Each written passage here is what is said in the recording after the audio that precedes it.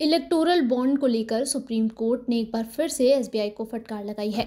SBI द्वारा बिना unique number के इलेक्टोरल बॉन्ड का डेटा पेश करने पर सुप्रीम कोर्ट ने नोटिस जारी करके जवाब मांगा है। सुप्रीम कोर्ट ने शुक्रवार को कहा कि भारतीय स्टेट बैंक को राजनीतिक दलों द्वारा प्राप्त चुनावी बॉन्ड की यूनिक अल्फ़ा न्यूमेरिक नंबर का खुलासा करना चाहिए था।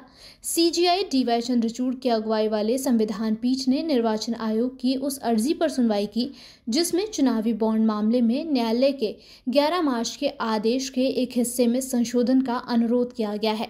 न्यायालय ने अपने पंजीयक को यह सुनिश्चित करने का आदेश दिया कि निर्वाचन आयोग द्वारा सीलबंद कवर में सौंपे गए आंकड़ों को स्कैन किया जाए और उन्हें डिजिटल माध्यम से उपलब्ध कराया जाए। इस पीठ में न्यायमूर्ति संजीव खन्ना, न्यायमूर्ति बी आर गवई, न्यायमूर्ति जे बी पारदीवाला और न्यायमूर्ति मनोज मिश्रा भी शामिल हैं।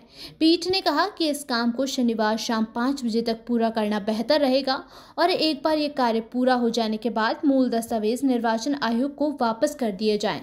उसने सुनवाई के दौरान याचिकाकर्ता की ओर से पेश हुए वकील प्रशांत भूषण और वरिष्ठ अधिवक्ता कपिल सिब्बल के इन अभ्यवेदनों पर गौर किया कि एसबीआई ने चुनावी बॉन्ड के विशिष्ट अल्फान्यूमेरिक नंबर का खुलासा नहीं किया है पीठ ने बैंक को नोटिस जारी किया और आगे मामले की सुनवाई के लिए 18 मार्च की तिथि तय की है। निर्वाचन आयोग ने अपनी अर्जी में कहा कि न्यायालय के 11 मार्च के आदेश में ये कहा गया था कि सुनवाई के दौरान सीलबंद लिफाफे में उनके द्वारा शीर्ष अदालत को सौंपे गए दस्तावेजों की प्रतियाँ आयोग के कार्यालय में रखी जाए, लेकिन उसने अपने पास दस्तावेजों की कोई भी प्रति नहीं रखी।